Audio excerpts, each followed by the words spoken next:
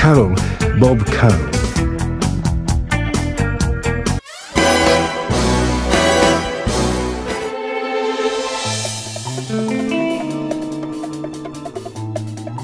Trivia time with Bob Carroll. Trivia, no kidding.